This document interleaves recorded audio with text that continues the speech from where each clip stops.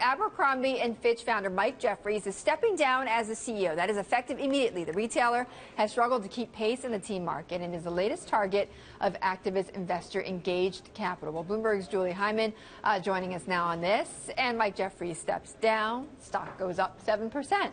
Yeah, I mean, this the company has been really struggling for a while. The teen retailers generally have, so it's not alone. But Abercrombie has been a really high-profile case of this, and it's been faced with a number of different things. First of all, the logos that Abercrombie really became known for. Teens aren't into them anymore. Second of all, it has a lot of competition from the likes of Forever 21 and H&M, all the fast fashion brands. In many cases, are cheaper and are cooler in the eyes of teenagers. So that's part of the issue. And then you also have the customers, the traditional customer at Abercrombie that have basically aged out of it. Yes. And they're not being replaced by the younger teenagers that are now coming up. So indeed, Engage Capital came in, has pushed for changes. It's not a large shareholder, but it has been a very vocal shareholder. So Abercrombie's already made some changes to its management structure. For example, there's a new chief operating officer. There are uh, four independent directors that have been appointed to the board uh, that were uh, put forward by Engage Capital. There's also new brand presidents that are leading the Abercrombie brand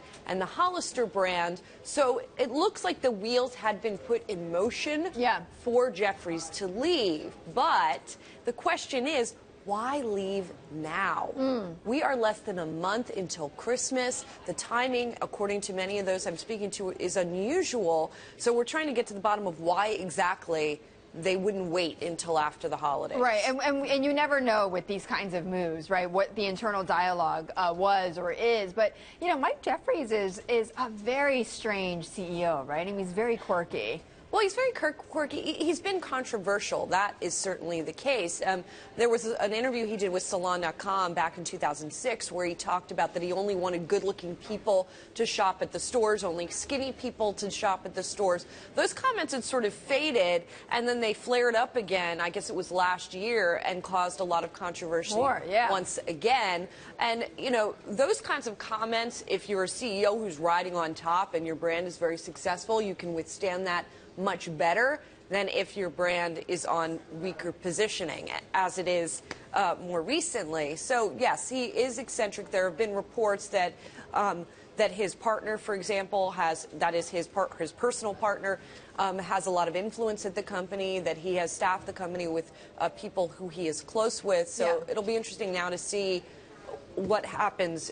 You know, sort of the the what the next. Uh, shoe to drop will be. it's so true, though. If you're making money for everyone and you're rich and you say the weird things and you do weird things, you're like a, a, an eccentric genius. But once you start losing, yes then you're just you're, weird. You're, yes, you're not quite as uh, as Teflon no, as you you're not before. Exactly. Um, I should mention as well that Jeffries, we should make clear, is stepping aside without a replacement. Another question about timing here.